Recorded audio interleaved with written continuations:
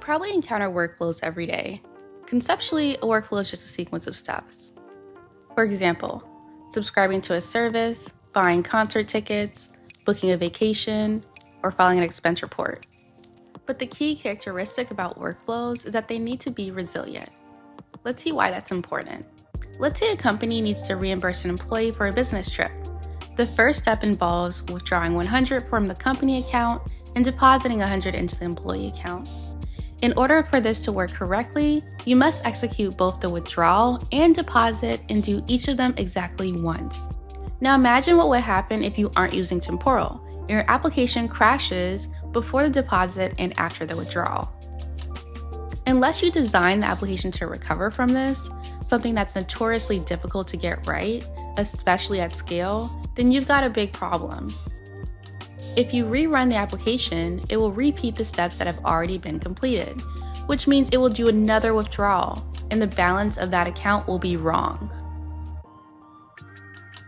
That's not a problem with the temporal workflow, because it can overcome a crash without losing state, or repeating previously completed steps, and because of this durable execution, a temporal workflow can run for as long as it takes to get the job done.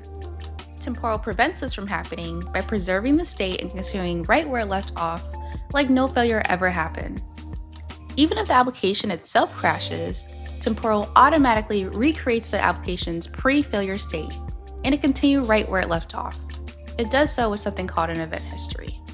With Temporal, workflows are defined by writing code, known as a workflow definition, and you'll develop those workflows by writing code in language that you already know, such as Go, Java, TypeScript, Ruby, C Sharp, or Python. And the exact same code you write is what runs at runtime. This means you can stick with your favorite tools and libraries while building on Temporal. Workflow definitions are carried out by running that code, which is known as a workflow execution. Every running instance of that workflow is a separate workflow execution. For example, you might run the reimbursement workflow to reimburse Jane and again to reimburse Martin. By the way, every workflow has a name, which Temporal refers to as a workflow type.